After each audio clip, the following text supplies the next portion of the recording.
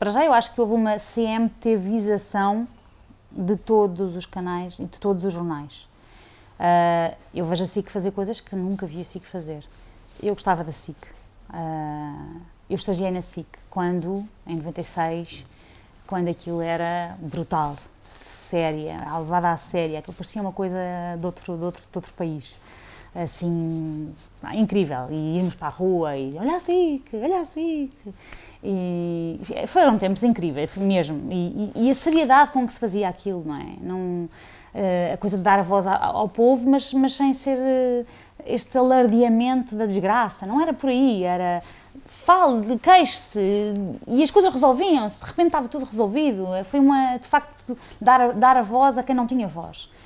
Hoje em dia, quer dizer, é, eu vezes estou convencida que, que há tipos na, na CMTV que matam mesmo, porque eles estão logo lá, como é que é possível? E isto depois foi, viralizou, tornou-se assim, todas são assim, todas são assim, tipo, abres o...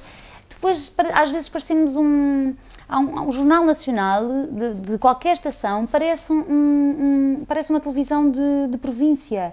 Um acidente numa estrada matou uma pessoa. Há acidentes todos os dias, morrem pessoas. Mas de repente aquilo é uma cena que faz sentido. Um, um caminhão de caixa aberta e não sei o quê. Uai, parece uma coisa regional. Não, está tudo ao contrário. Tudo, mas vende, mas vende. As pessoas gostam disso.